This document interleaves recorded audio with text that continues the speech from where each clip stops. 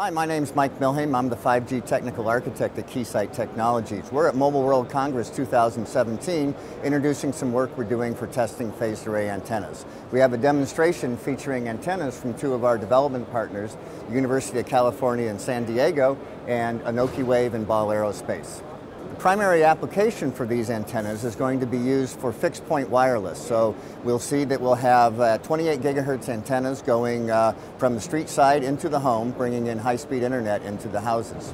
Uh, this is a, a cost-effective way of delivering a capability that might previously been delivered by fiber to the home.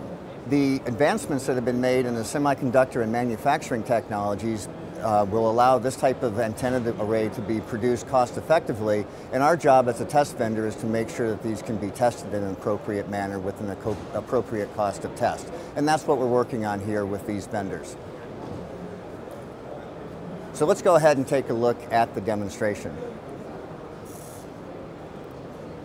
So what we're doing is we're using our uh, industry-leading demodulation software, uh, 89600 VSA software, and we're combining that with the uh, antenna arrays to give us a combination of wideband modulation measurements and antenna characteristics. So the hardware setup we have, we're generating an IF signal with uh, one of our arbitrary waveform generators. We're up converting that to 28 gigahertz that's going to the input of our transmit antenna. As we go through a sweep of tests, we're sweeping the, uh, the transmit antenna from minus 45 to plus 45 degrees in azimuth. And as we sweep that, every time we move it, we're electronically tuning the antenna back towards our receiver. Our receiver we have pointing off at a different angle, but because it's a uh, also electronically steered array, we actually have it pointing back at the, at the transmit antenna.